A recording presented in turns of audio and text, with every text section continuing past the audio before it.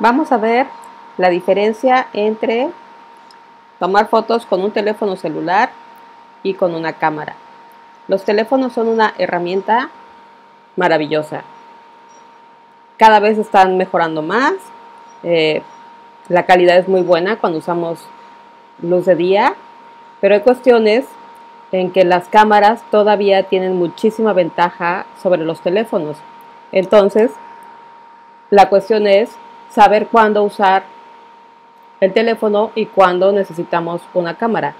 Depende mucho la calidad que necesitamos para imprimir y dónde se va a publicar la foto y determinados efectos que solo se pueden conseguir con la cámara. Entonces eso es lo que va a determinar cuándo nos conviene usar el teléfono y cuándo nos conviene usar la cámara. Los dos son buenas herramientas de trabajo.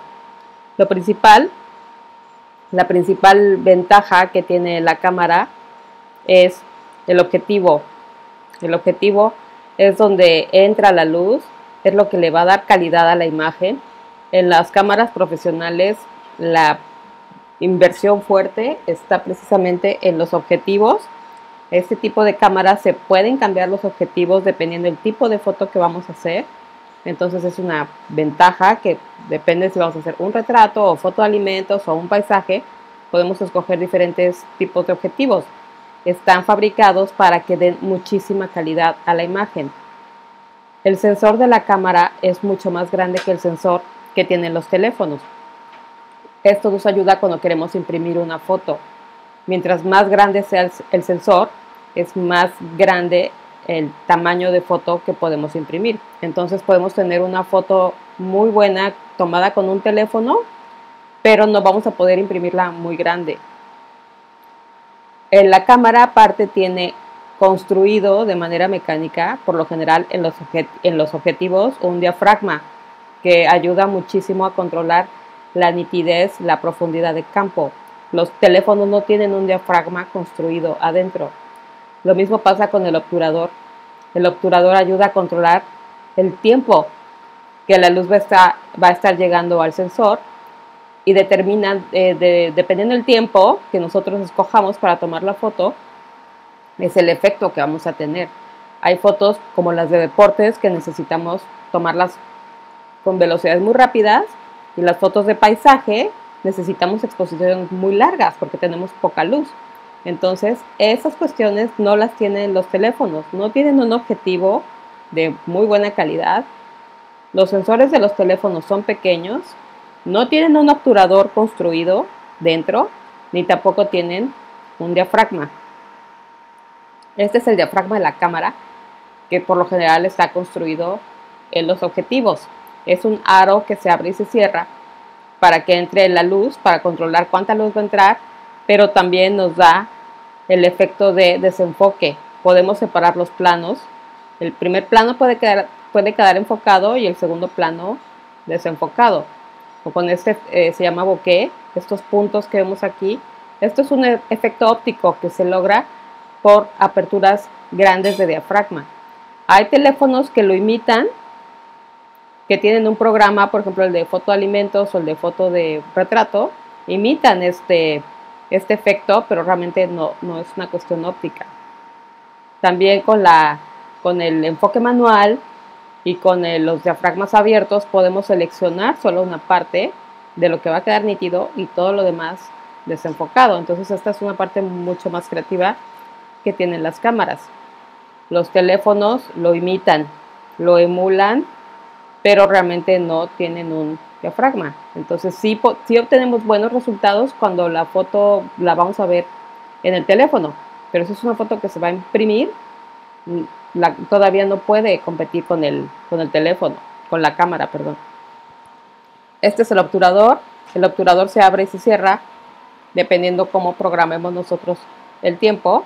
Se abre y la luz pasa directamente al sensor cuando tenemos, nosotros podemos seleccionar diferentes tipos de velocidades. Cuando tomamos una foto con un teléfono, el teléfono determina más o menos qué velocidad necesita para que la foto no vaya a quedar movida, pero no, no tiene muchas opciones.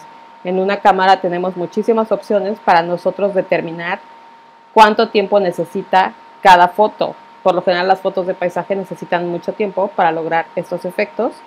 A veces se necesitan hasta minutos para lograr estos efectos. Una foto normalmente se toma como en un quinientavo de segundo cuando es de día.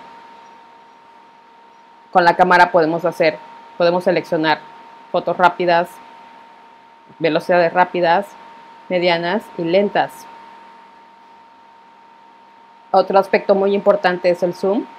Los objetivos de las cámaras están fabricados para acercar lo, que es el, el, encuadre o la persona o el animal o la naturaleza. Están fabricados para que lo podamos acercar con calidad, de manera óptica. El zoom de la cámara, lo que, del teléfono, lo que hace es agrandar la imagen. Pero realmente no, no tiene los cristales, no tiene el, todo el material que se necesita para poder acercarla. Tenemos la opción en los teléfonos de bajar una aplicación para usar la cámara del teléfono de manera manual, que es lo que más se parece a una cámara. Tiene, podemos descargarlo y vamos a tener los controles como si tuviéramos una cámara reflex y esto es muy útil. Es muy útil porque hay, aquí ya se vuelve mucho más creativo, ya tenemos más control en cómo va a quedar la foto ya no estamos haciendo todo en automático. Y si no tenemos una cámara en la casa, por lo menos podemos irnos familiarizando con los controles que tienen todas las cámaras con estas aplicaciones de usar la cámara manual del teléfono. Y para terminar, aquí está la parte medular de la fotografía. No importa que yo tenga una cámara carísima o que yo tenga un celular muy económico, siempre lo más importante es el fotógrafo, las ideas, el aprendizaje, la práctica, saber comunicar. Eso es realmente lo más importante de todo. Si nosotros nos eh, esmeramos y tenemos una buena idea y la queremos llevar a cabo, con cualquier herramienta que tengamos lo vamos a poder hacer.